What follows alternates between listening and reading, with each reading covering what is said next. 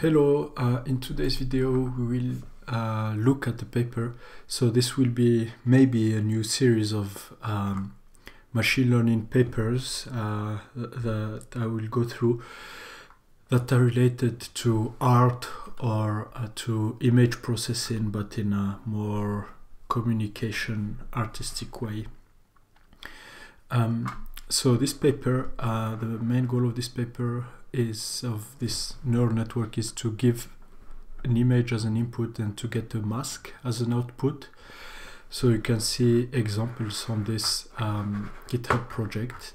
One important thing is that the license is Apache 2, so that means that commercial use is uh, allowed, private use as well.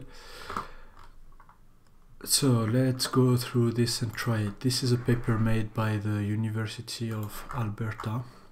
So this is not at all a paper I've been working on. Uh, when I, this was recorded, the paper was published six days uh, ago. So thanks to these authors that uh, I'm afraid of mispronouncing their names. Chua Bin Chen Zishen Chong, Chen Yang Huang, Masoon Duhan, Osmar R. Zain, and Martin Jagersand. Thanks to them. The paper is quite impressive. So the first thing to do is to download.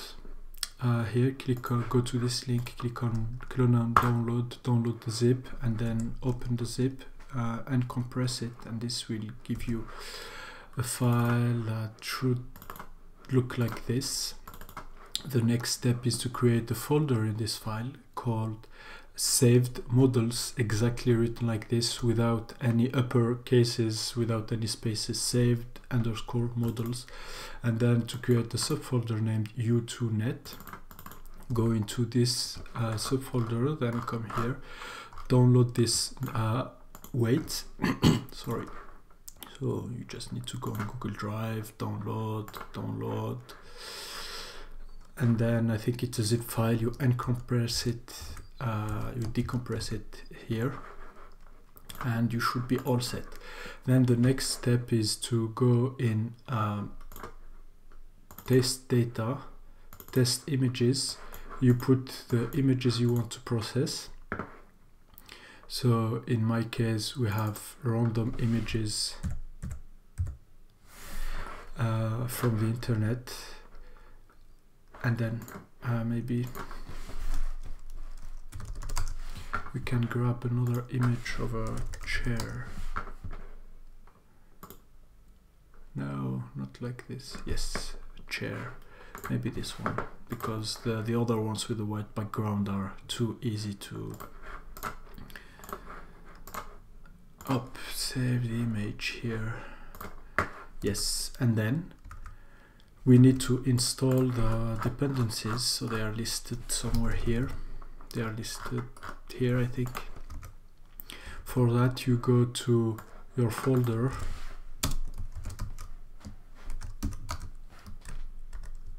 And then you pip3 install and then you put um, and then you put uh, the libraries you want to install for example numpy so I already have everything installed then I think I can just scikit just put them one after the other. Image. Uh, PIL is pillow. Uh, for PyTorch it's torch uh, library is called torch and then torch vision and then glob oh sorry it's glob 3 because we are using python 3 up and everything is installed if you don't have them. So you can see here that already satisfied already satisfied. And now you should be ready now just uh, go where your python uh, file is so where you downloaded the, the where you uncompressed the first zip file and then you should see in there um, this file.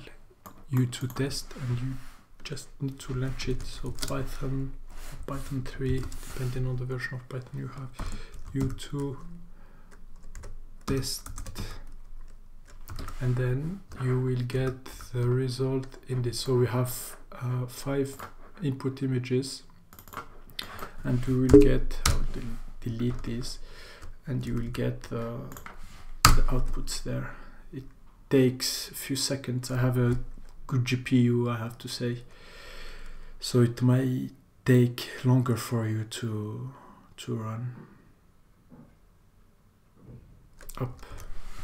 Done and here you can see that we have five images of masks so they are a bit useless um, uh, right now but we can photopea and then we can import.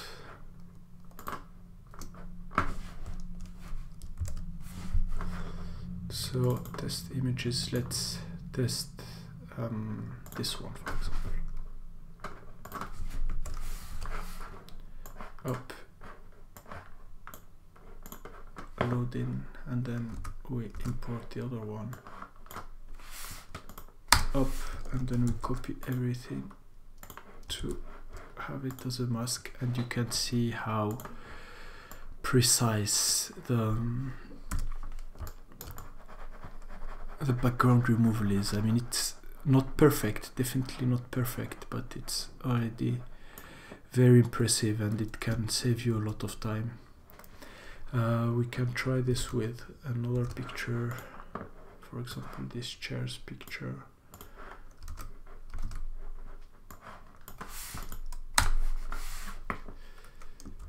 Up, copy this.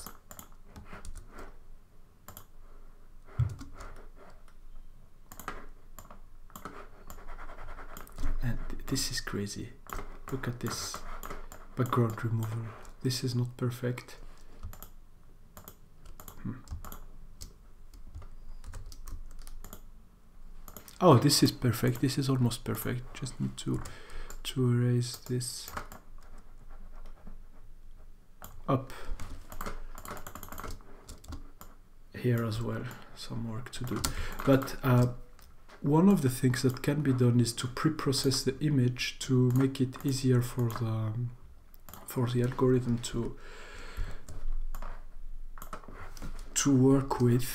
Maybe if we increase the contrast we could get it to to erase this part uh, easier. And I think it has problems uh, getting rid of parts that are inside. So it mainly focuses on the outside shape.